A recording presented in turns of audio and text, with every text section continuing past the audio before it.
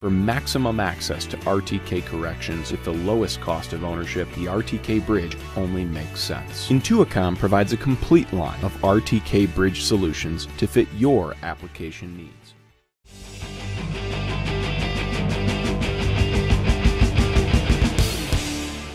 Good morning. My name is Matt Rohlik with Haug Implement in Willmar and Litchfield, Minnesota. I'm the Integrated Solutions Manager.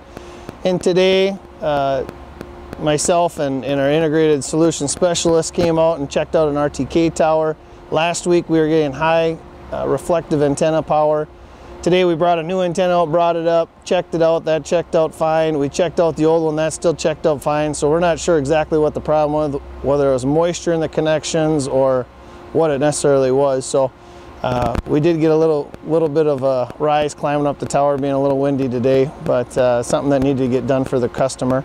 I'd say we probably get a, a, handful of years about all on RTK network. So we've had it running for up to seven years so far in some of them, and they're pretty pretty bulletproof. You know, once in a while you may need an antenna or a coax or possibly a radio unless lightning strikes it and takes your whole thing out. But pretty much they're they're pretty self you know, they're pretty self-sustaining.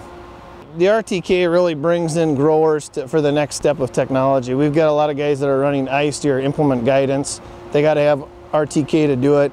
Uh, we were one of the first in the area to get on board with that. So a lot of guys look for us for leaders for that. So we, you know, we, we probably make enough off our RTK tower to justify repair and maintenance and everything else, but we're not, not really in it to, to make gangbusters money on it. It's more or less a service to the grower so that they'll come buy hard iron from us.